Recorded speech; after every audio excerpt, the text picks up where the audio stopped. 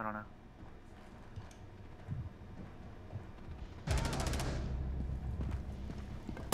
Four last stop standing.